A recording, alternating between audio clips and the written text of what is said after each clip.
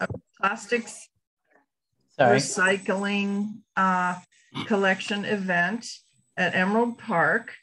And um, it's on October 2nd from 9 to 12. And we will be collecting number twos, uh, the ones you can't not put in your commingling now. So it will be number two uh, tubs and lids because we can put um, bottles and jugs now into our commingling recycling bins. Uh, so we'll be doing number two, um, tubs and lids. We'll be doing number four, tubs and lids, and number five, bottles, jugs, tubs, and lids. And there are requirements for them, which I will put in the chat, which are um, the same as it's been for a while. They need to have their labels removed uh, unless it's a heat sealed label, which means you cannot get it off at all. Um, and lids removed unless if the lid has a recycling number of a two, four, or five, I can go into that category. But everything needs to be sorted, cleaned, and without labels uh, when you bring it in. And um, So the details are also in the newsletter, right? excuse me. The details are also in the newsletter, both, Okay. just went out, Okay. Yeah. so you should have access to that. They are, and I I think she sent out the flyers, but I'm not sure if she sent it to like, you know, Yeah, mailing list or just the board or what. no, the flyers are, were, was included in the newsletter, said everybody got it. Okay, okay, good. Um, let's see, what else? So we have to be pretty strict about what we'll accept. Because when we take it down to the Lane County transfer site, they're very strict about what they'll accept. So um, let's see, I think that's all I have, just as long as everybody knows now that you can put number one and two bottle and jugs in your uh, commingling bin if you have that service coming to your house, which is a really big improvement from what we've had. Um, but there's still a whole lot of stuff, we, Damn. so that's why we're doing this event. Kathy, where do we take it? We take it down to the Lane County transfer site, the No, dock. where, where do the households in the neighborhood take their items? What do we do with it when we have, them? What do you do with them? are you having a collection site that we take, go to? Yes, we are doing a collection on October 2nd at Emerald Park. Okay, that's what I want to know. Thank you very much. That's what this is, that's what this is all about. We're doing an, a collection event and it's from nine to 12 on October 2nd. It's a Sunday. Great. And we're going to be in one of the shelters at Emerald Park. All the information is in the flyer. And so there's a group of about 10 to 15 volunteers. and We'll be examining everything and taking it. Okay, You, you kind of hit your time limit there, Kathy. I'm sorry to be pushy. Okay, okay, that's good. I'll put it in the chat and there you go. I'm done with my part. Okay, thank you very Thank much. you. Appreciate your work on that. Thank you. Jo- Jolene? Hi, good, good evening. Thank you, Kathy, for that good work. Um, I just wanted to announce that there will be a social justice committee meeting this Wednesday evening from five until six thirty, and I'll um, locate the Zoom link and put that in the chat if you're interested.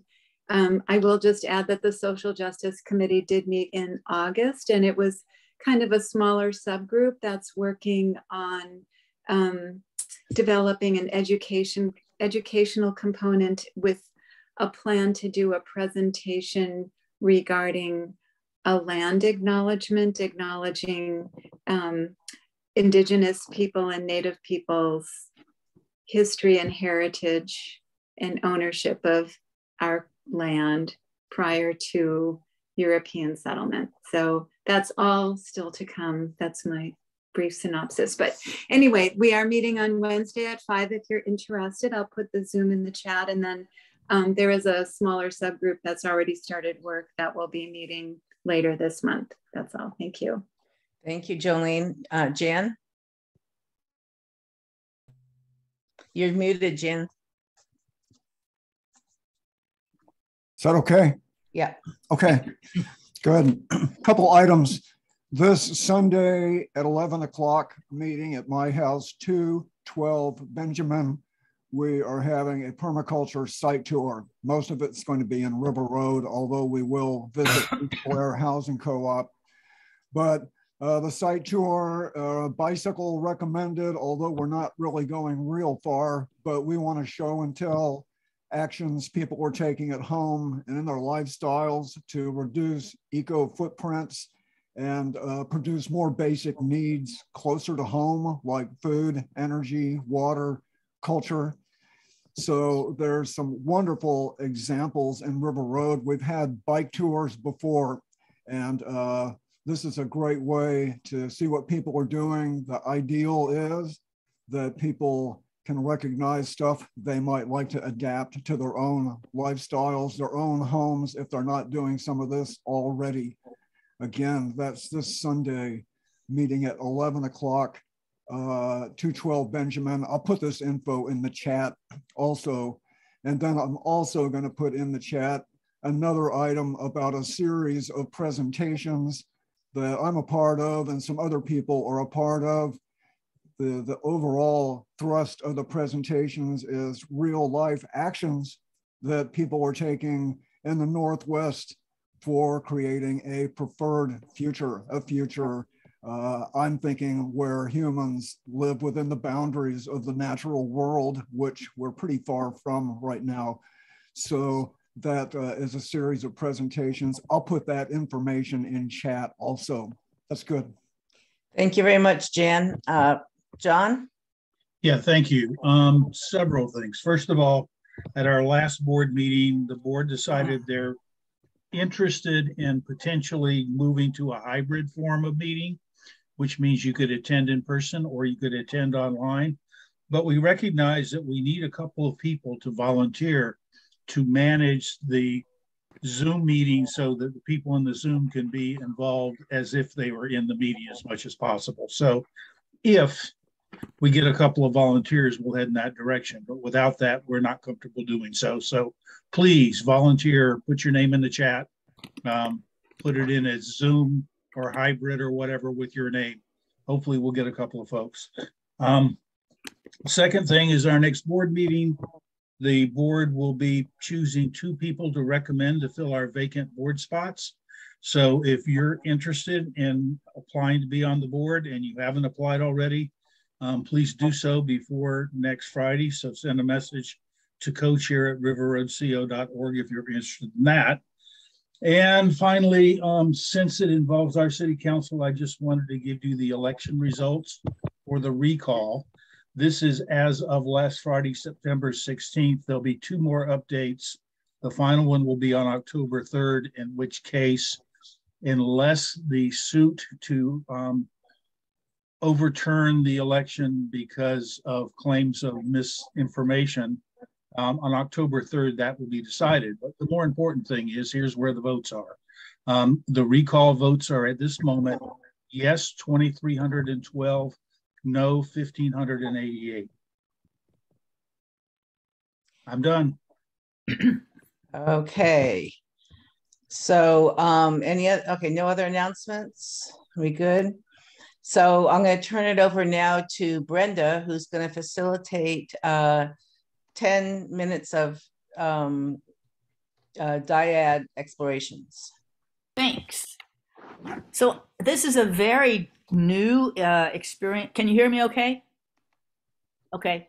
Um, this is a new experience for us in this group, although I've done it in other groups. Um, I'm going to put each of us in a Zoom room with one other person. So I would invite you if you're uh, if you aren't showing your video, it would be really helpful for just this little bit if you came on. Our goal is that everybody gets a chance to say your name and uh, at least meet one other person in your neighborhood tonight. And the question that I'm asking you to address is um, what can I do to be supportive of the public schools in my neighborhood? What can I do to be supportive of the public schools in my neighborhood? So I will put you into um, breakout rooms. I'll bring you back in eight minutes. So we'll spend uh, a couple of minutes. Um, how how you'll report out is write in the chat when we get back one thing you thought of or talked about for you. So you're not telling me what somebody else talked about, but just what you what can I do to be pu- supportive of public schools in my neighborhood? Any questions? If so, raise your virtual hand or unmute and say, I don't know. We good? Okay, it says there are 36 participants, and that means I'm going to try 17 breakout rooms and see what happens.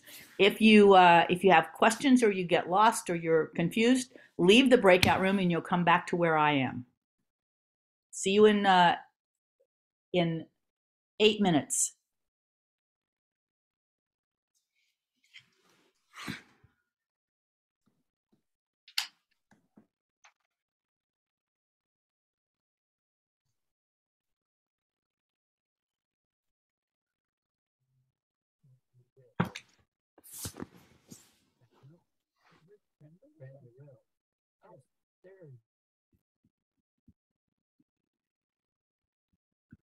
I didn't say you have to accept it when it shows up on your desktop.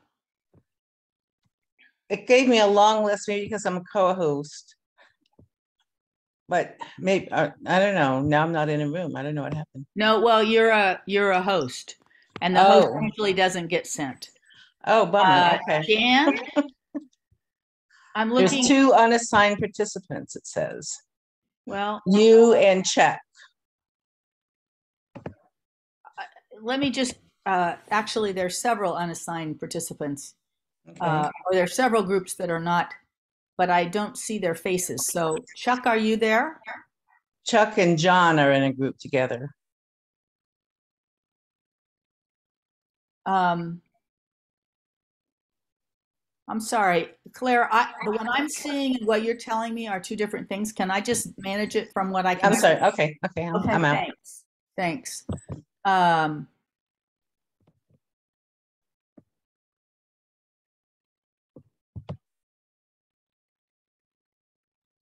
Rick, are you, or Jan Rising, are you here? Or Dan, Daniel Hill? Like I see people who are muted who, who are still showing up, but I'm not hearing, you know, if you're here and you can hear me, unmute yourself, please. I don't think you'd hear them if they were in a group. Candace. No, room no, no. What's true is they're not in a group right now. Candace, room 11, asked for help. Should I go in there and ask, help her? Uh, sure. Okay.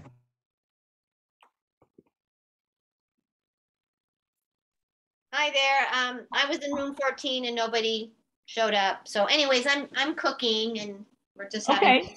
So just chat with me for a minute. What All can, right, what's your what name? you think of that we that you could do for uh, helping schools? Well, the first thing that came to mind was continue paying my taxes. It's a good plan. Yeah. Um. and I promised to go to board meetings and then immediately failed to follow up on that after I got all, of, you know, I thought I'm going to start going to board meetings. Lori, did you were you in a meeting by yourself? Sorry. That's okay. Welcome back. We're uh Shava, did I say that right? Hava. Hava. Yeah. And this is Willie. Hi, Willie. Live Hello. over on uh, um, Brentwood Okay. between Fremont and Armstrong. I'm part of River Song Co-housing, so I'll be at the end of Oakleigh Lane in a little while. Cool. Lori, any uh Misty, are you was there no one in your room? No, Okay, I'm gonna uh we'll just have a little chat here. Uh Lori, did you think of something that you might do to support public schools? Or Misty? Not aggravate anyone. Don't aggravate people, okay? Misty, Um, how can you be supportive to public schools?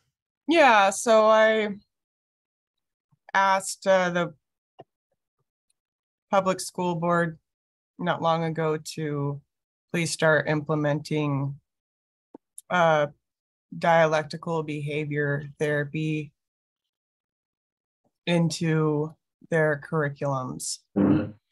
And so, how are you being supportive of the schools? I'm going to meetings and continuing to talk about dialectical behavior therapy. Uh, So this keeps staying on their radar so they can, you know, start getting the idea. and, you know, and if if there's more money that needs to be raised to support that kind of curriculum, you know, I'd be down for helping to organize around that. But um so, going to board meetings and having and being articulate about what you think's important. Yes, also. Yeah, supporting BIPOC students. If there are incidents at schools. Um, I'd like them to know, like, like when we organize the, the rally for our family, the family that was, uh, I'm sorry, there was a big bug that just flew by um ADHD here. Sorry. Squirrel. Um Okay. Anybody Yeah. else think of something else? It's a Yeah, very really. short. I I can throw in that um, I like to volunteer over at the uh, 4J Natives program. Uh, I, I do artwork and I'm familiar with a lot of native art forms. And so I just go over there and uh, hang out with the kids uh, and do stuff with the kids. And I've actually gone to uh, one of their four or five day uh, retreats uh, at, um, where's that? Um, Sky Camp. Sky Camp and uh, Nice. class there in rattle making. So um, I like to do stuff like that with Indigenous students. And um, for a while, I worked with one on one with some older kids. So uh, to teach them the art stuff I know how to do. Thank you.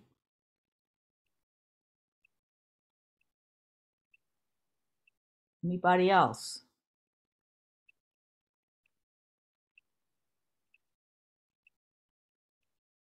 What can I do to support local schools? Pay pay attention, I think, and maybe find ways of supporting teachers.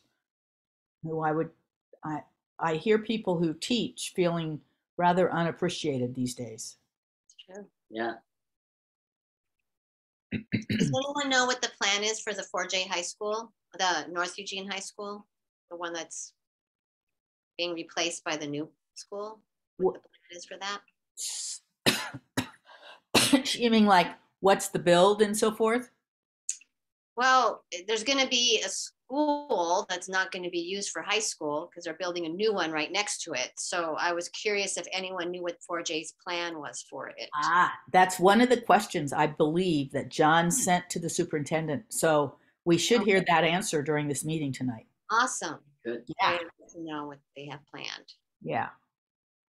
I was surprised by looking on the website as a new board member trying to learn away, learn around things, that uh, just how many interesting schools, how many integrated schools, and and like a Japanese school and a, Mex- a Spanish school. I was very surprised to have right in our neighborhood all of those things. People are coming back.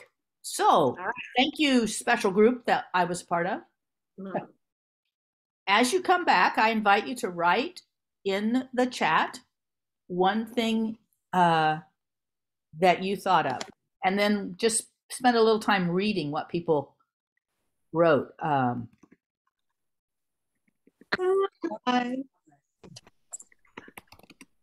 Wow. remember to uh, lo- uh, mute yourself as you come back. Okay.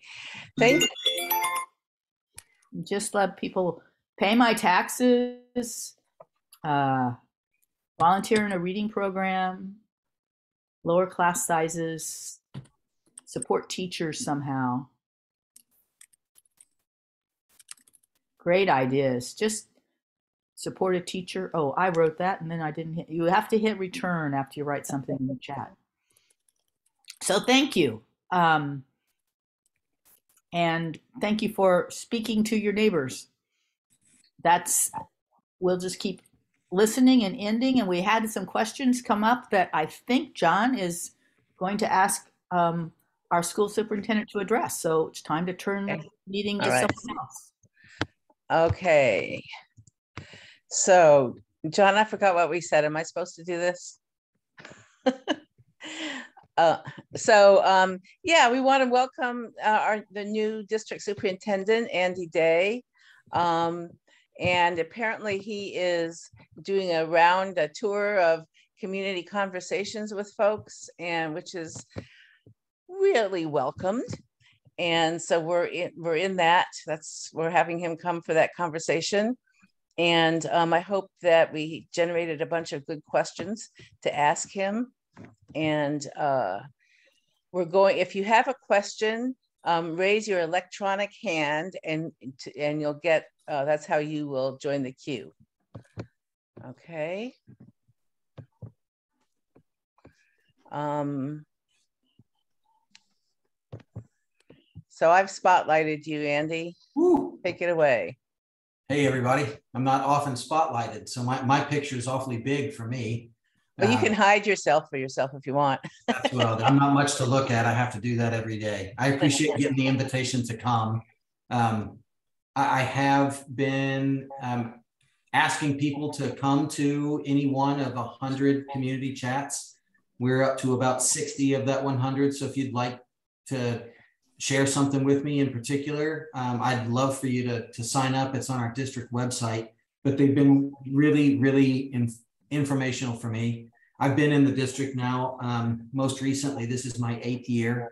I actually taught earlier in my career in the early 2000s, middle school science, um, but then worked over in Springfield and then out of the country for a bit. So even though I've been around um, in a new position, I get to hear some things, people's concerns, people's hopes and desires for the district that I, I wouldn't have in my prior um, positions. And so it's been great.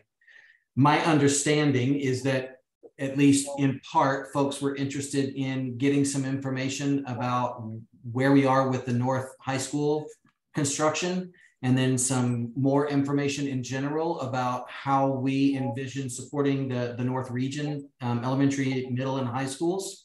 Um, happy to take any questions. I've got a bit of a slideshow. It's not too many slides. If y'all would like to see, um, I'd be happy to share my screen when the time is right. But I can answer the questions that folks were that, that, that I have been posed, and you can interrupt me whenever you would like. Um, and I appreciate you rearranging the, the the agenda a bit. I hate to be a first time member, high maintenance guest at your community organization meeting, but I'm here at the district office, and they're going to be doing some core network um, fixing tonight that's likely to cut me off around 8.15 is what they tell me. Not much I can do about that. So So Andy, I just made you a co-host so you can share your screen if you want to. thank you.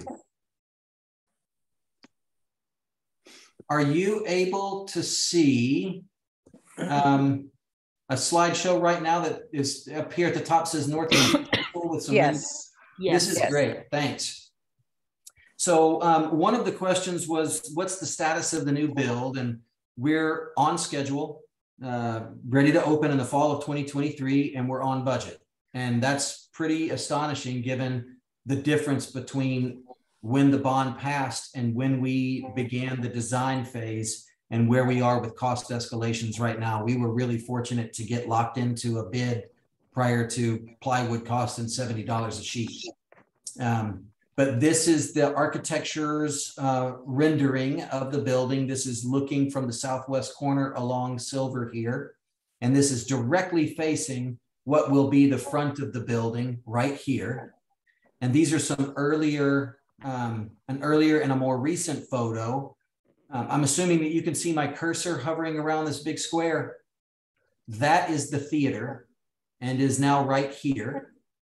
And here's where you'll see the band room, the choir room, um, some dressing rooms for the theater. Along the west wing here are two floors of classrooms, driveway around the back, career and technical education shops and multi spaces are in the back. Um, the health center is over here with the child care center with its own parking. And all of this will get the landscaping and the bus drive through, like is shown in the renditions. We're just not quite there yet. Here's an aerial view facing due east, I believe. Yep. Um, where you can see this side of the construction. You'll see here's the turf field with the surrounding track, Swede, and the softball field.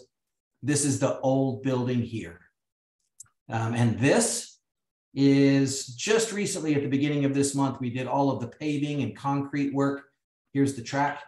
Um, no more street low street area parking there along Silver. There's a sidewalk and all the parking will actually be inside the, the campus itself. Um, just wanted you to be able to see where we were in, in the process. It's coming along pretty well. Um, I've, I've not gotten a tour inside, but I hear that I could ask for one and get taken through if I, am there at the right time and wearing the right equipment. I'm gonna stop. Well, no, I'll leave that up. Um, like I said, we're, we're on, on schedule to open this next fall uh, and on budget. And I've got a question of what, what is the district going to do with the existing uh, North High School building? And I don't know that there is any, that the board has not made a final decision. What we knew going into the bond was that this building could possibly get some deferred maintenance taken care of and by the big ticket items in the deferred maintenance would be a new roof, would be, um, we would need a new boiler and new piping. And when we get to that level of expense to renovate a building, it kicks in some other code obligations that are more recent. So we would have to um, redo fire suppression and our DDCs, our digital data controls, which control the heat, the HVAC, um, that initially was estimated to be cost estimations with contractors were between five and seven million dollars. After the cost escalations due to COVID, we got um, quotes that that same amount of work is going to cost closer to $30 million. And that is not with, that's without any renovation at all whatsoever to remodel it to fit. And so there's a conversation right now about what's the best way to spend district dollars. Um, we would also see that of all the high schools in the district, the North Eugene site is constrained in terms of the space it has access to more so than any of the high, other high schools. And so there's been parts of the community that have wanted us to entertain the idea of not having the old North building and replacing it with green space, field space for sports teams and community to be able to access. So a decision is not yet made as to exactly what will happen, but we know that the costs are um, much different than the best the best quotes we got going into the bond several years ago. Um, there was also a question about what are the plans for the future of YG and Kelly. And there's a, a group of people that consist of board members, administrators, and teachers from Kelly and YG, at least at this point, that are having conversations about what is the future of that co-location. There are some that uh, think that there's a lot of promise in the co-location of Kelly and YG, but I think it's fair to say that they're outnumbered by the number of people that say that each of those schools, in order to thrive, needs their own purpose-built facility. And so we're we do know that at least until um, for, for the next couple of years while we figure something out, they're going to be co-located together. And there are some things that they've shared with us that will be important to do so that they can more effectively operate their programs. Uh, but I, I think it's fair to say that it's a problem that's not yet been fully solved and that we need to have conversations with the staff and the parents and students and community members impacted by those two school decisions and come up with a with a plan to solve it. Um, I know that that's a, a it's a big issue, an issue that has been discussed for many years as to where where YG would be. They were in the Silver Lea building with co-located with Corridor. Um, that building's gone to make space for the new North, but but it's a it's a decision that absolutely needs to be made and has some financial implications that need to be taken seriously. And please feel free to interrupt me and, and ask a follow-up question or a clarifying question or offer a, a comment um, before I just take on to the next thing. I understand there's a question about the bike path connecting behind the school. There's a bike path over in this area that connects, I believe it's Court Street. Is that correct? That is connected to the back of the school. Um, I spoke with the chief operations officer, Kyle Tucker, who, if you don't know him, he's a, a North grad, um, about first what we need to do is determine what the what the fate of this building is and where that space will be, how that space will be utilized. If the building is there, then we would asphalt, uh, you know, pave with a hard surface the trail that currently exists that brings you to the back of the building. If it's not there, then we would want to take a look at what would, would be designed and still do a hard surface uh, paved pathway, but possibly lead it in so that it would provide access to fields if they were there. We know that something's going to be done, but we want to make sure we know what's happening with this space so we don't pave this and then subsequently decide to do something different with this space and then tear it up and do it again. So I think the, the short answer is that something will absolutely be done to provide a hard surface, uh, but whether it's to the back of this building or whether it's to provide access into the fields um, is a different matter to be determined after we know what's happening here. Um, I see that there was a question about Peter DeFazio having allocated $6 million for a bike bridge in the area. And the, the cost uh, was estimated, or while there's 6 million allocated, the thinking is that it's more of a a 12 million or higher dollar amount. Um, we've reached out to the to the city, and I don't want to speak on their behalf, but don't have the impression that there's additional money to support that at least at this point in time. Maybe we could learn different from some folks in the audience here, or somebody might reach out to me. But we absolutely want to stay in conversation with with the, your organization and the greater community because we know that we want safe routes to school to be just that, really safe routes to school. And so we're, we're invested in students having a, a safe way to get to school and staff for that matter. Um, if they choose not to drive a car, they walk or they, they ride a bike. I understand also that there is there has been conversation, and I'm going to go ahead and stop sharing the screen because there's no more related, that there was conversation about a proposed navigation center in the River Road area that there was a site that was identified for it um, where the old LTD collection site was. And then there's a another site, I believe, at 100 River Road um, or River Avenue that would be a navigation center. Uh, there are questions about whether or not we're involved in those conversations, uh, what we would support. I'm not sure that I understand what all the questions are, but we are very interested in making sure that um, as we solve challenges that the city faces to support families who are experiencing housing insecurity, that we also maintain a real keen eye on uh, the fact that that's a pretty major thoroughfare for students coming to and from school, that they walk that way to go to different places when they go to lunch. Um, that, that we just want to be really cognizant that we don't, in trying to solve one problem, create another. So um, my understanding is that this is uh, somewhere in the neighborhood of a $4 million project that was part of what Mayor Vinis had as um, a covenant with the city to address a, a big issue, but that that's been um, five years in the making. And I'm not certain exactly where those plans are, but we definitely have a vested interest to the degree that we're allowed to be involved in those the conversations leading up to a decision. Yes, sir, John. Andy, can I interrupt? Um, the Navigation Center has officially started up. It is at 100 River Road, the old um, VA clinic. Um, we are in the process of doing outreach to the community with the county and the city. And if you haven't been notified, I'll make sure you are soon. But it should be starting up any day now. It'll have uh, 75 participants. The goal is to transition them from chronic homelessness into housed. Thank you. Thank you. I appreciate that. And then um, there was there was a, a, a statement, I'd say, not so much a question about the river.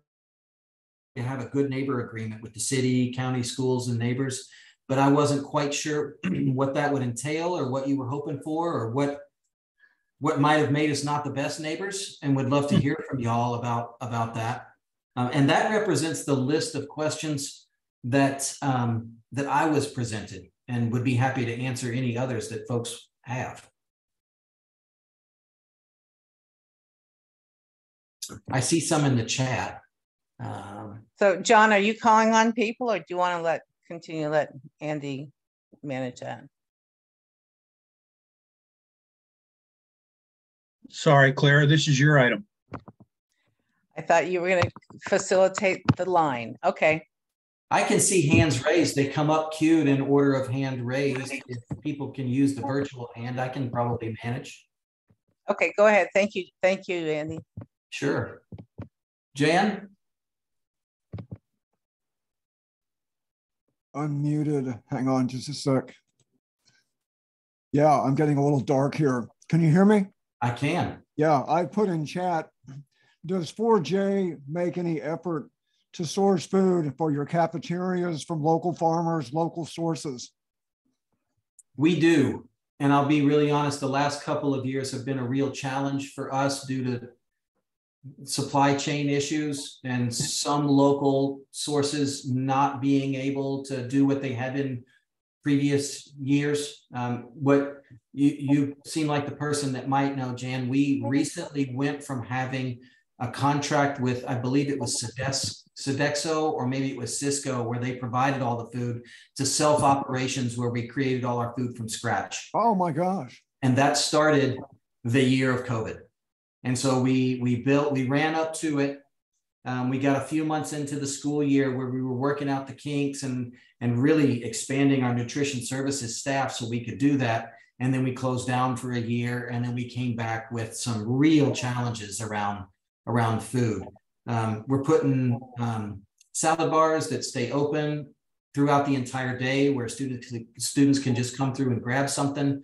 We do want to work with local um, local growers so that we can number one support business and number two not add to the number of trucks that need to be driving around when we've got stuff right here that we can buy and, and feed folks with but if you know some people that are interested in or have had difficulty in connecting with our food service staff if you don't mind putting it in the chat and i'll make sure that we reach out to them in some way Yeah. Thank you. hava Hi, Andy. I'm here with uh, my partner Willie, and thank you so much for taking some of your busy time and spending it with us here. I'm, I'm just, I had in the chat just a few questions, but I'll, I'll condense them. One is, um, I've had idea, an idea for the for the high school. I don't think that even if we have to take it down, you have to take it all down. I mean, um, we have homeless families that are homeless and children that go to school that are homeless, and I just see that as a really great place to have people where they have showers and rooms and places to cook and you know just a place to be until they find housing. Anyways is there a process with 4j board or the, have they already made their decision and they're just going to pick one of them? How, how could i be how can i submit my ideas? That's one of my questions. And the other question i have is what about those beautiful are they fir trees? I think they're redwoods. the big redwood trees. They're not Yeah, going we- anywhere are they Yeah, they're right in front of the school, and I don't think, no matter what happens to that facility, there's no intent or need to take those down. Um, the- you absolutely can reach out to the board and make public comment or submit an email or a letter, and they will absolutely respond to you. Uh, they absolutely want to hear what members of the community have to say about ideas. Um, I don't know if you make a public comment at the board meeting, their practice is not to necessarily get in dialogue, but to listen email, you'll get an, a more or less immediate response. But no, there has not been a decision made by the board as to what to do.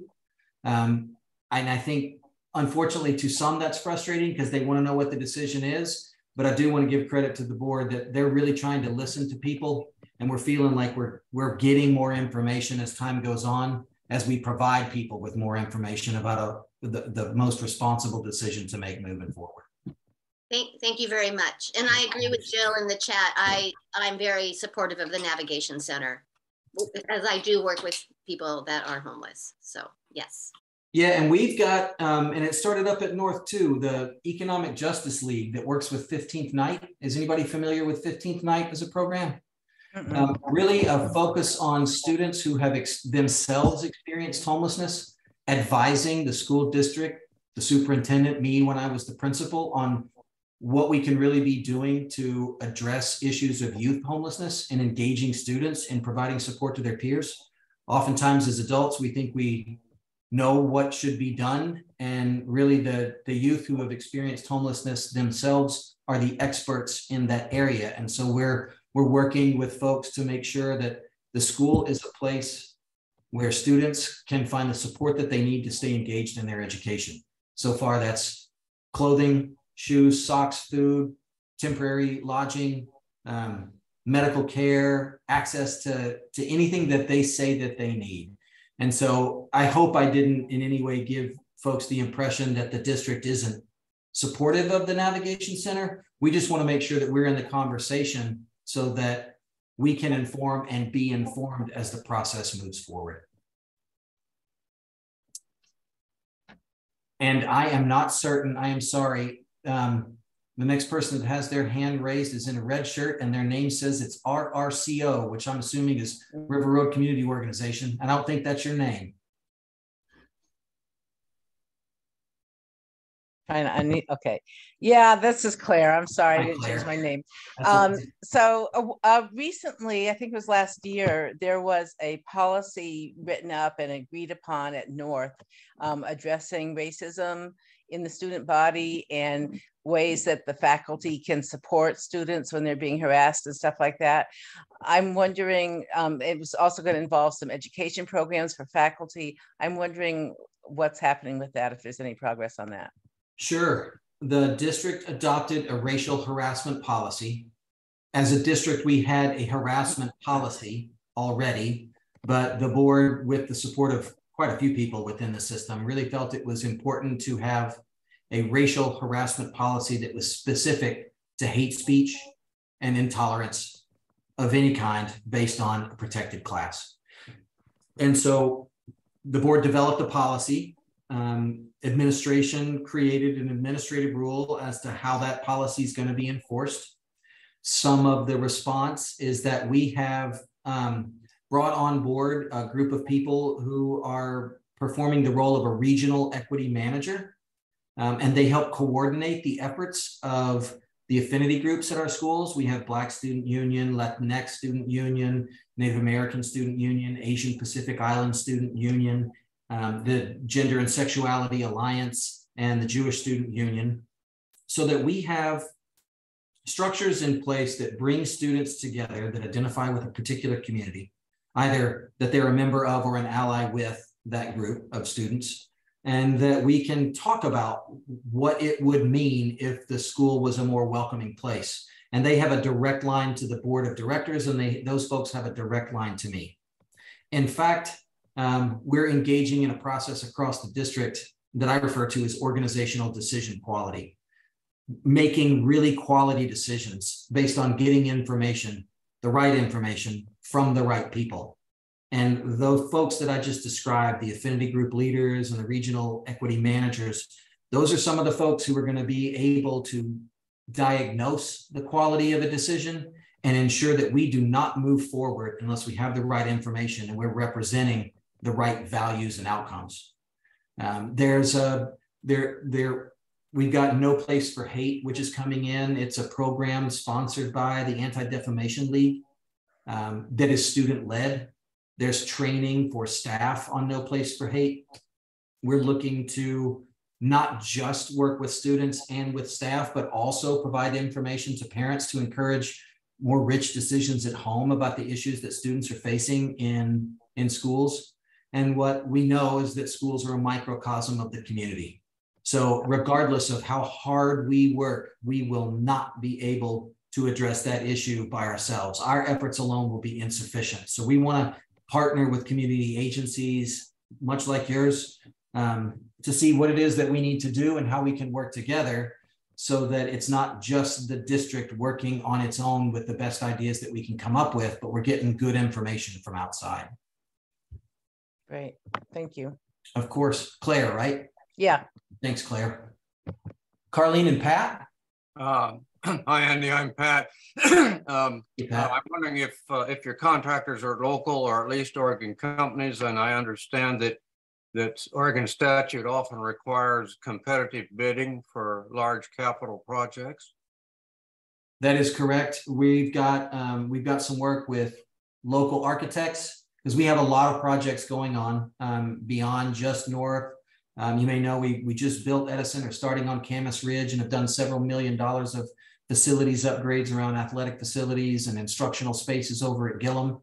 We have a mix of contractors that bid. Um, the board recently passed a policy that speaks to our need to engage in a community benefits program where there you go. What I'm getting at. And that was pretty recently, to be honest with you. I, I would be lying if I told you that I knew whether or not that relatively recent policy impacted the contracts that we agreed to with the current projects. But I know that we have obligated ourselves to engage in a community benefits program moving forward. Thank you. Of course. That's all the hands I see raised, but um, I'm happy to stick around. I'm not great on jokes to pass the time. Hello, Hillary. Oh, you're on mute. Hi, my question Hi. has to do with your landscape maintenance budget. And um, and are is there any plans? If you walk around River Road School, you can see that the weeds are overwhelming the plantings. And despite the work of people like Pat and Carlene and other volunteers, mm. uh, they just can't. It, it's not not the path. It, it may be maybe a staff person could organize volunteers or something. There might be a creative path, but my question is, do you have plans to increase landscape maintenance at River Road School and I'm sure other schools in the district? Of course. Thanks for the question. Um, far be it from any superintendent to say money is not the issue because we'll always take more money. Um, we have what we believe to be a sound budget for our grounds crew honestly, what we've struggled with is recruiting staff. We're down six grounds folks. Um, we have been posting for positions since early spring of last academic year. We recently agreed with um, our labor association on some recruitment and retention bonuses. Um, that's the last thing that we contractually have to do in order to then take the savings that we have due to vacancies and work with a contractor to get the landscaping done. We would absolutely prefer to employ staff members and have good employees um, part of the team. Um, but obviously, we're going to go through the agreements that we made with our collective bargaining agreement. And I believe that we're either going to hire uh, by the end of this month with those bonuses, or at that point, we will be able to take some of those savings and contract out with a local business to come in and help us knock it back. Um, I'm really sorry that it looks the way that it does. And I'll tell you, if, if the facilities director and the operations officer were, were here, they would tell you that they absolutely hate the way that it looks. They're, they're personally embarrassed. Um, we do have some volunteer groups that come out. We have asked our athletic teams to to do some some fundraising through volunteering on our grounds. Um, we're also looking at when we propose new buildings or renovations that include landscape that we've got landscaping that's both environmentally um, aware and sensitive and do not require as much maintenance as has been the case in some builds that we've recently done in the last five to 10 years. I appreciate the question. Sure. John?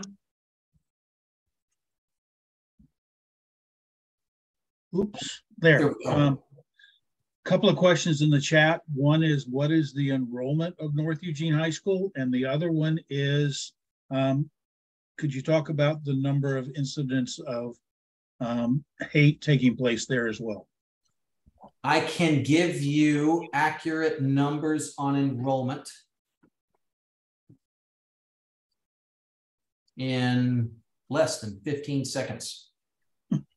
At North Eugene High School, as of today, we have 1,097 students enrolled.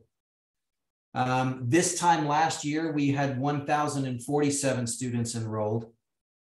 And we projected our enrollment at North to be 1,058 students, and we're 39 students over that. And so that's really encouraging to us. What we see is that the month of October is the high water mark for enrollment in all of our schools. Um, so occasionally we do see schools grow in their enrollment over the course of a year, but generally the people that leave our district leave before school starts and those that come, come before. Um, we anticipate that going up by at least 100 to 150 students the minute we open the door on the new school. Um, open new spaces in Gilham, and people feel really good about enrolling their students in, in a school with expanded and up to date facilities. Edison, which just opened, um, was much higher in its enrollment than projections. Camas Ridge, I would imagine, will be the same in North. It's going to be the, the you know the newest high school in I believe in the county um, unless somebody's going to beat us and they haven't told us about it, uh, it's going to be fantastic. So I think you'll see enrollment spike quite a bit. In terms of the number of incidents, um, I, I don't want to give you bad information, but I also don't want to make you think I'm trying to hide info. Uh, I can get you that information if somebody wants to give me an email address that I could send it to. Um, but I want to make sure when I give you information, it's accurate and not my best guess. What I can tell you anecdotally is that over the past couple of years, we've been, I believe, more purposeful in in implementing programs and ways that people can report things more anonymously that they see are concerning. so we're getting more reports of things that have been happening, but I don't necessarily believe that that represents an actual increase in the things that are happening. I just think that people are more willing to tell us because we're earnest in asking, tell, tell us what's happening. We want to know. I can also say that last year was um, for incidents of racial insensitivity or hate or um, racial harassment was punctuated. Um, our students were out of school, many, many of them for an entire year. Um, lots of students spending a lot of time uh, unsupervised online uh, for all of the great things that come with the internet. They're not all great, and students can really find themselves going down rabbit holes.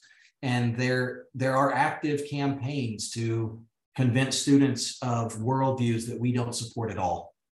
Um, so I, I, I, what I can say with absolute confidence is that all of the teachers that I've spoken with and the administrators that I've spoken with said that last year um, incidents of racial harassment seemed more pronounced than they had in prior years. And that's something that we're really concerned about and committed to, to changing. Those types of things have no place in school. They don't Thank really you, have a Andy. place anywhere, but they don't have a place in school. Sorry to interrupt. No, I you're put- fine, John. I put co-chair at riverroadco.org in the chat. You could send that information there. We'll publish it. You bet. Thank you. And there was, uh, uh, Chuck, can we um, publish the hate incident data on the 4J website? We absolutely will. We, uh, we want to make sure that nobody believes we have anything to hide. So I'm copying this address and then I'll work with uh, Jenna McCully, our direct director of communications, to um, put some information on our website. And I want to let you know that we are going to start a process of um, a website renovation. It's going to be a long process, but some of the feedback that we've gotten is that our website is um, less than helpful, and that's not what we want. So if you get an under construction sign soon, you know that it was planned and we're, we're trying to make our website more accessible and user friendly. Jolie, Hi, thank you so much for all Sure. this great information. We're glad you're here. I just wanted to tag on to that and let you know that over the last couple years in the in the Eugene community, a number of neighborhood groups have formed social justice committees and just in reference to issues of racial harassment, racially motivated violence, et cetera, I think those committees would be excellent community partners.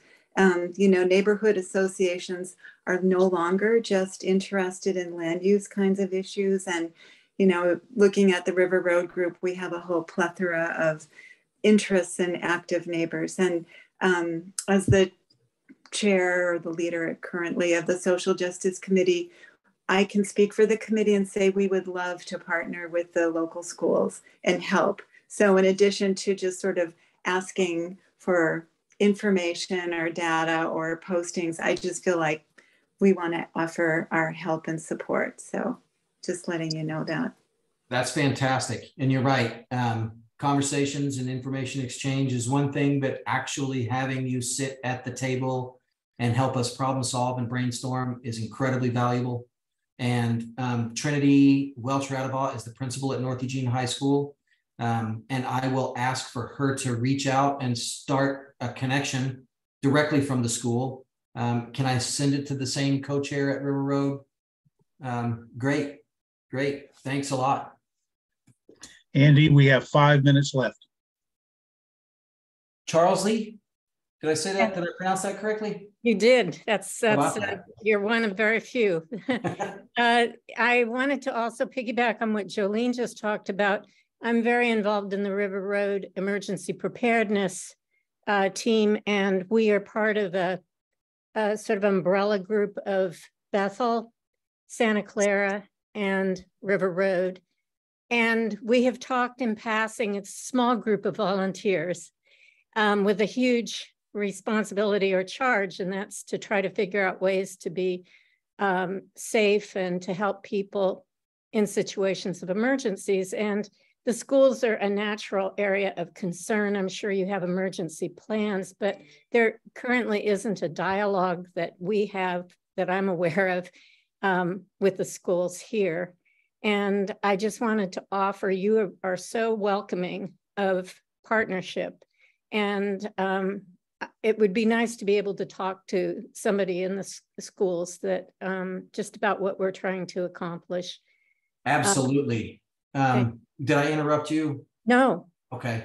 One of the one of the first ideas that come to mind, and that's not the only idea that would emerge, is that schools really need in the event of an evacuation, either because of a natural disaster or a gas leak, or even, you know, gosh, just a, an unexpected flood, parent reunification plans and volunteers to come in who get training that can help calm down really elevated parents and work with students and we so that we can reunify parents with their kids.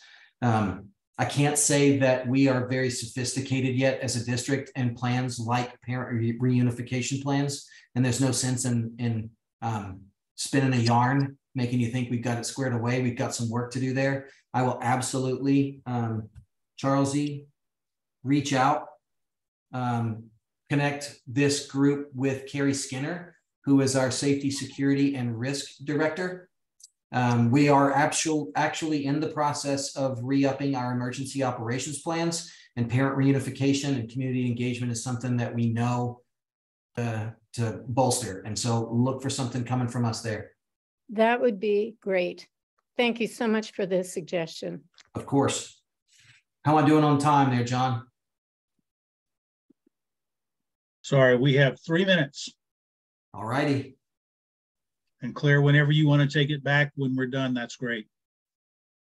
Tell you what, if you'll have me back again, I'd come back for sure. Uh, I, I think that a lot will develop over the course of the next two to three months. Um, we'll know more about uh, what's happening with the existing North Eugene building. And, and if it's not these questions, more will emerge. And I'm pretty, I'm really serious about my commitment to community engagement. And um, it's not always easy to hear, but I need to know when we're not hitting the mark. Uh, that way I can help us shift. So again, I really appreciate you inviting me to the meeting this evening. Thank Well, you, Andy. Your seriousness is, is well de- demonstrated. In the past, we haven't known, had a liaison person with the schools, like with North High School or with different schools. We've been told we'll just contact the principal. Is that still what we should do?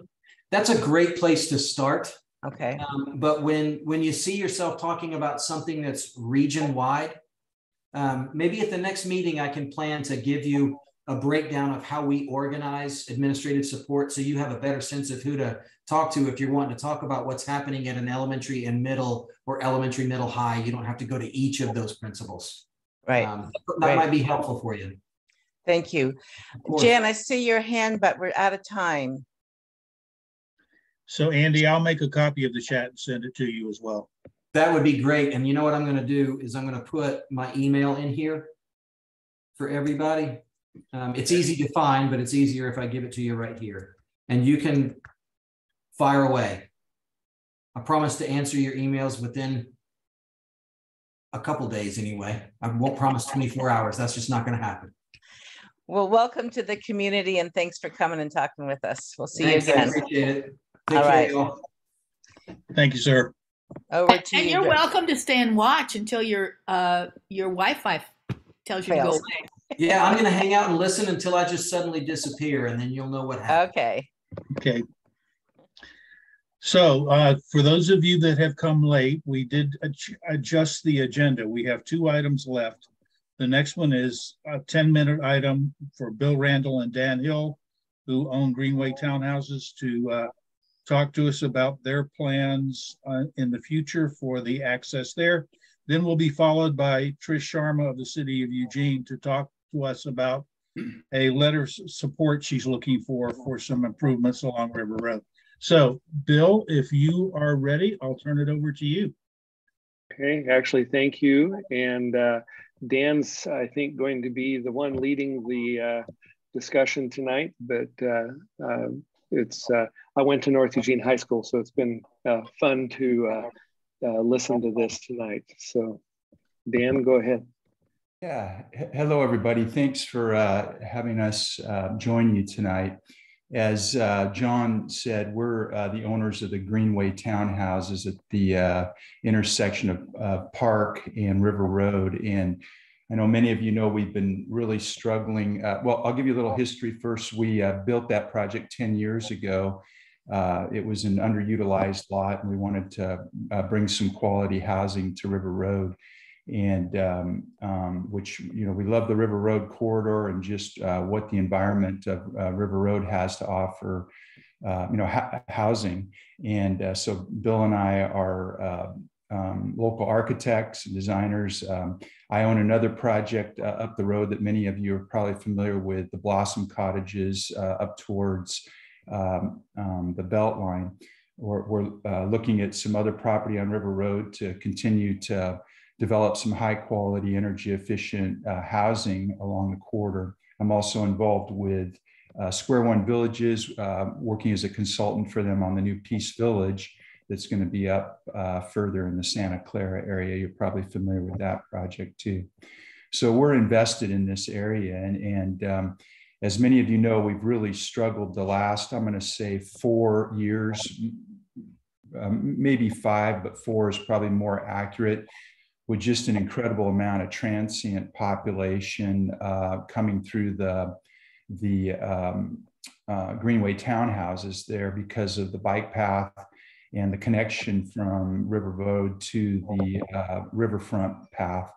And um, you know the, the problems are all over the city. It's not just exclusive to ours, but just the uh, vandalism, some actually physical assault, uh, car break-ins, um, you know, hu- human feces, other things like that that have just been, you know, a continual problem for us the last four years, and just trying to keep the garbage cleaned up. Some of those things. So, Bill and I, uh, unsuccessfully, as you all know, uh, weren't able to close that uh, access off, and we decided that uh, you know we don't want to appeal this again. We want to try to you know, see if we can work with the neighborhood group there on two main items. Um, and, and those two main items, the first one is really more of a safety item. Um, we've had a real problem with uh, people riding bicycles and pedestrians walking through the parking lot rather than, than uh, actually utilizing the bike path.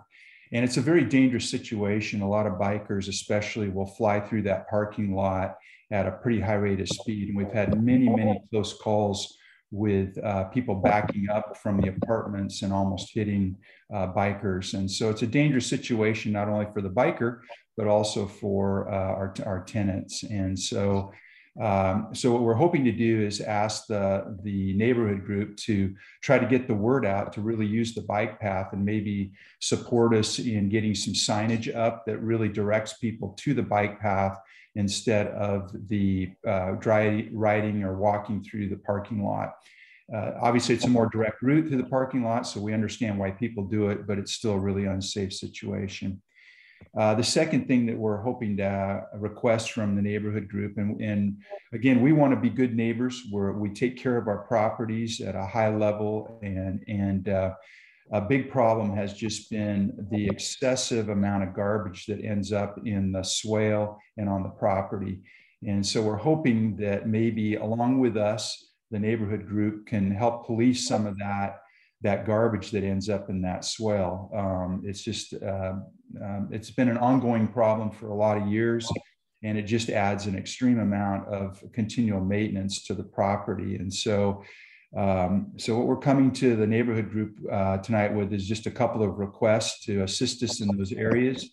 Uh, we want to be good neighbors and we're hoping people will treat and respect our property uh, in the same way. And uh, we know that probably everybody that's here on this Zoom call tonight are not the, the people that we have to worry about, but we certainly have to get the word out to uh, to the neighbors to um, um, just be um, more mindful that this is private property. It's a public easement, but it's private property. And so we're hoping to partner uh, uh, with your neighborhood, and, and we're part of that neighborhood. Uh, and so we just want to uh, make those requests. And Bill, I'd like, yeah, I just I just want to jump in and add. Um, really, for me, the biggest biggest thing is the safety issue with uh, uh, people flying through the parking lot, either on bikes or we even have heard of motorcycles going through there. And um, uh, I know when we had one of the earlier meetings uh, with some of the neighbors, um, uh, one of the uh, people who live in the neighborhood said that she was guilty of doing that and hadn't realized it. And so I think, you know, the communication and somehow getting that word out uh, would be most helpful uh, just to make sure that people use for walking and biking uh, the, the path that goes around the, the south side and not the parking lot. Thank you guys. Um, um, if you are asking us to help police the garbage in the swale, are you providing a place for us to put that garbage? You know, John, uh, because we can't lock the, the dumpster enclosure right there at the end of the path, um, as we as we mentioned in our testimony with the city, uh, there, there's just no way to physically really lock those containers up because the transient population ends up breaking the gates or uh, you know just creating actually more uh, vandalism to those areas. And so those are open all the time. So all people have to do is pick up the garbage, open up the gate, and put it right into the into the uh, containers that are right there. So uh, it's pretty easy, uh, pretty easy access. So. Okay, thank you. We've got three and a half minutes, and I see Bobby Joe's hand up. Would you like to ask a question, sir? You're muted.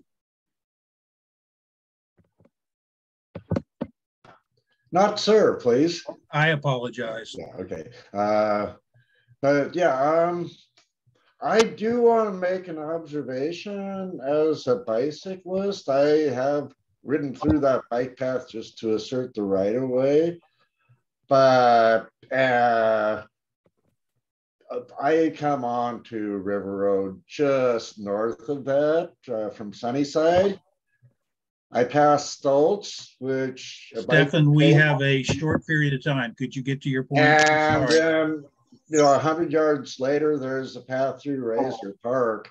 So I actually am at a loss as to why we need that particular access. Um, that's already been decided. Thank you, Bobby Joe. Stefan, uh, Jolene first.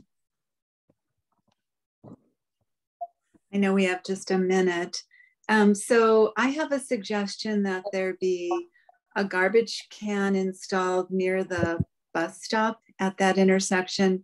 I am one of the many neighbors who walks along River Road or walks over to Rasor Park and picks up garbage just along the way if I think to bring an extra garbage sack with me.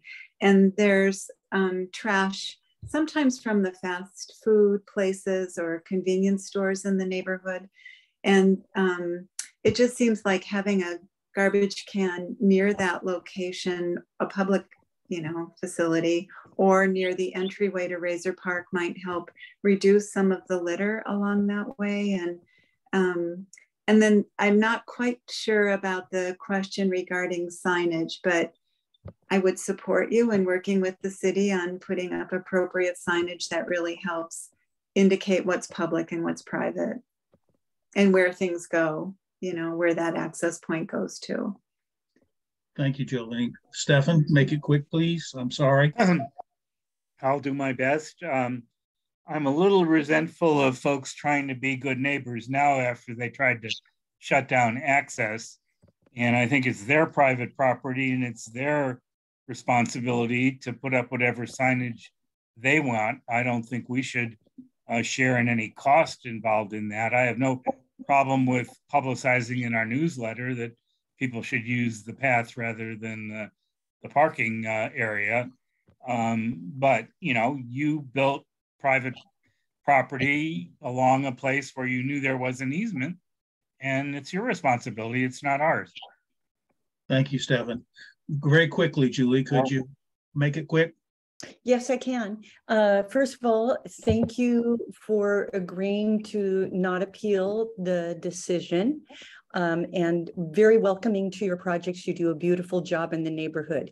I agree that some signage is going to be a great deal of the process involved here in order to reach the successful goals. I feel like it's a little bit of a mixed message saying it's private property, but we can go onto your private property to dispose of garbage. I think that that might uh, create some misconceptions there about what's allowable and what's not. So I think that signage and um, getting the word out simultaneously, as well as all of us that do use that public easement, uh, using it as a role model, that if we're doing the right thing, more people will continue to do so. So thank you again. Thank you, Dan and Bill, for coming. Um, I'm afraid we're out of time. We'll talk some more. Thanks. Great. Thank you, John. Okay, one item left on the, well, two, if we can squeeze them both in. Um, the next item will be Logan Tellis telling us about this request for a letter of support for some projects along River Road. So Logan, are you ready to go? Yep, I'll try to keep this um, relatively brief since we're a bit short on time. Um, but hi everyone, my name is Logan Tellis. I'm a transportation planner with the city of Eugene. And I'm here to talk to you about uh, asking for a letter of support for a grant application we'd like to put in um, that would potentially support some safety improvements on River Road. Uh, so there's a new exciting federal funding source called the Safe Streets and Roads for All grant. Um, this is the first year the grant's uh, up for uh, cities to apply for, and it's going to be a new um, $1 billion in annual funding um, from the federal government uh, from 2022 through 2026. Um, so we have the ability to apply for implementation funding for our Vision Zero action plan. Um, for anyone who doesn't know, our Vision Zero action plan looked at nine years of crash data fairly in depth and um, found River Road to be one of the most challenging locations in town. Um, it's our second highest crash street for people biking, our fifth highest crash street for people walking, and our fifth highest crash street for people driving. Um, that's, you know, at least in terms of uh, life-changing injury crashes and fatalities. Um, so we certainly want to fund some safety improvements along the corridor. Um, this grant opportunity presents uh, uh, an exciting possibility for us to get some improvements out there. Uh, what we would like to include in the scope of our application um, is uh, protected bike lanes. Um, that's sort of the, the primary piece. Um, we are thinking for the purposes of the cost estimate and planning out our application, uh, a six foot wide bike lane uh, with a two foot wide buffer and some concrete protected separators to make that bike space feel a little bit more comfortable for people. Um, we're also um, including green, uh, like pavement colorant at conflict points to help highlight, visually highlight um, where cyclists are going to be crossing um, uh, motor vehicle traffic potentially. Uh, in addition to the protected bike facility, we're hoping to get some uh, pedestrian hybrid beacons funded. Um, for anyone who doesn't know pedestrian hybrid beacons, um, I'm sure many of you are aware of those lower to the ground RRFB crossings that we have on River Road. Pedestrian hybrid beacon, beacons are taller. Um, they're like the height of a, of a traffic signal. Um, they're a bit different. A pedestrian would hit the button and it would be able to produce um, something more like a red phase. Uh, we have a few of them on Franklin for anyone who is trying to visualize what exactly I'm talking about. Um, we think adding that additional height uh, opposed to the lower level RFBs that we have out there now um, is something that's going to help drivers see from further away uh, that pedestrians are entering into uh, a crosswalk.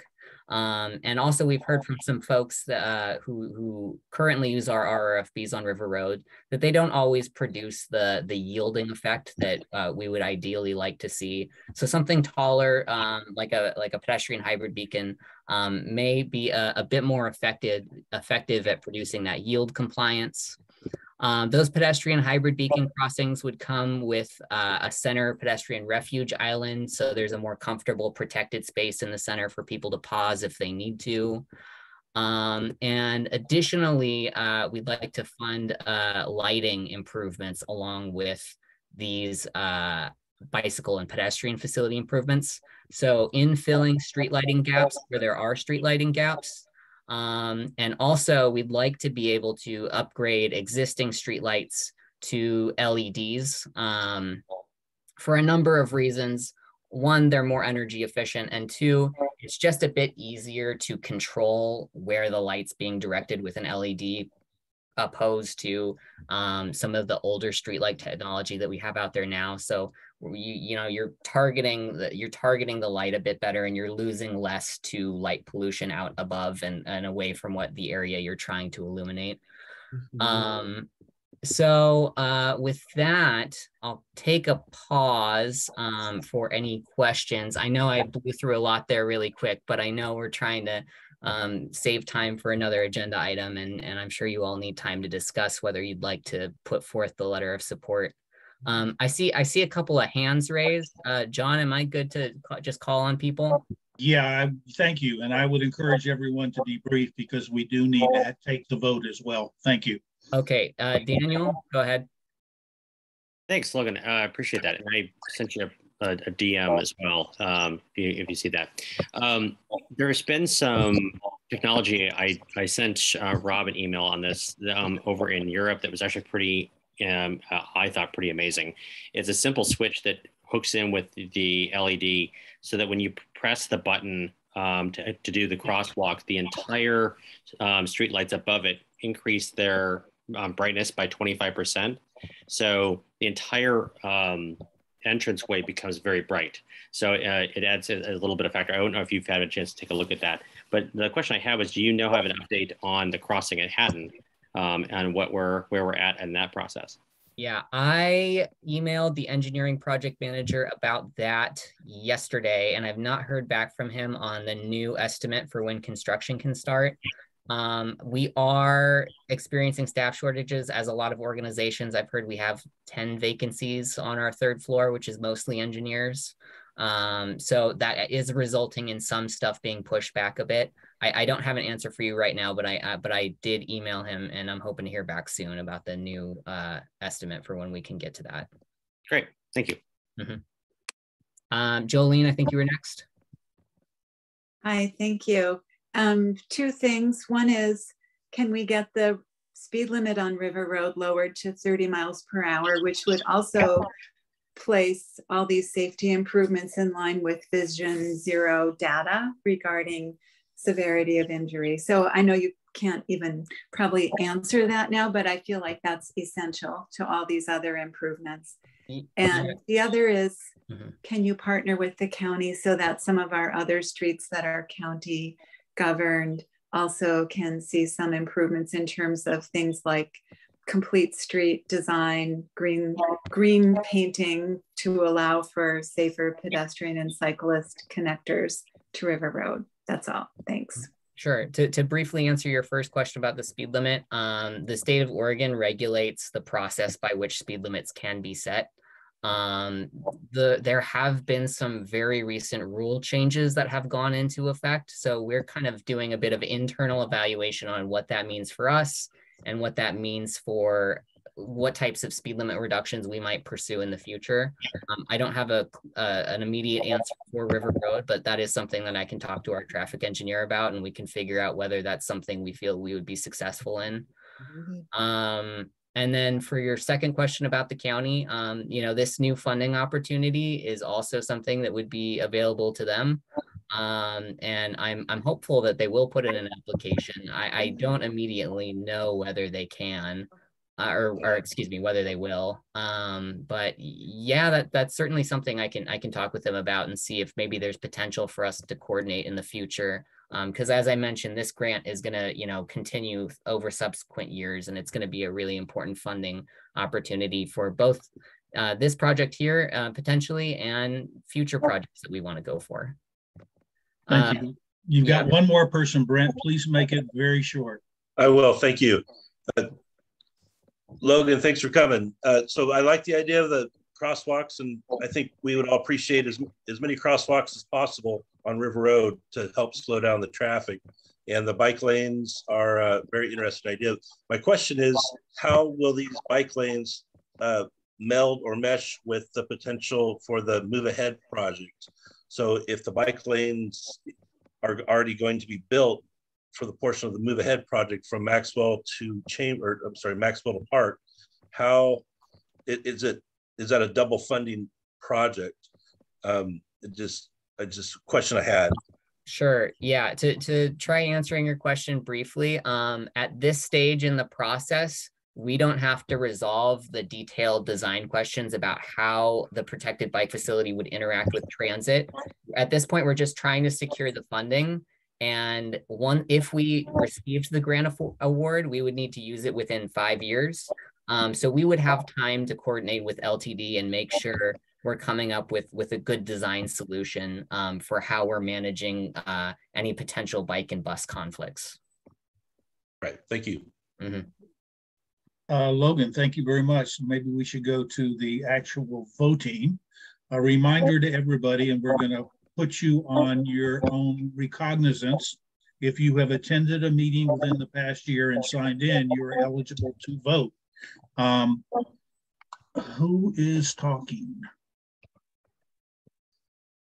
Anyway, um, so what I'm going to ask you to do, again, if you're a bona fide um, voting member, please go to reactions. And if you support the idea of the letter, please enter a green dot if you don't, please enter a red dot.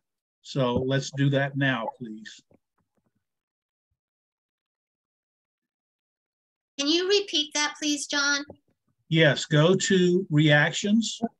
There's a red check mark or a red X mark. If you support the letter, click on the green the green yes mark. And if Do we have a motion or are we just voting. Okay, uh, good vote. point, Stefan. I move that we send a letter of support for the projects um, mentioned earlier by Logan. Is there a second, just to make this legal? Claire, are you seconding? I'll second. Julian seconds. Okay. okay. So please continue to vote. Thank you, Stefan. I apologize. And Claire, we're getting we're getting some uh, static on your end. Thank you.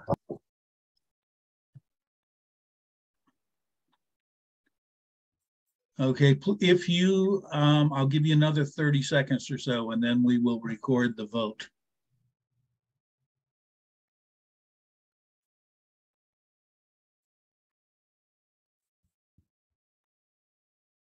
Okay, thank you. The vote has stabilized. It is 19 for and two against. So we will send the letter of support to the city for this proposed project. Thank you, everybody. Um, Claire, I'll turn it back over to you. Very and nice. Thanks for, thanks for coming, you. Logan. Yes. Thank you, everybody. And I'm going to turn it over to Brenda to wrap up the meeting. Great. Can you uh, unspot? Oh, I may, you may, I may have you on speaker. Can everybody? Yeah, on gallery is a better way to do this. Um, I do not think I'm going to be able to call everybody by name and say, Charles, what are you taking away from you tonight with this meeting? So I'm just going to invite you to write in the chat again, and I'll read a few of them. I'm leaving today's meeting of the River Road Community Organization with and answer that question joy or hate or confusion or excitement or whatever you're thinking. What are you taking away from tonight's meeting? Just throw that in the chat. It's a little evaluation, it's a little temperature check.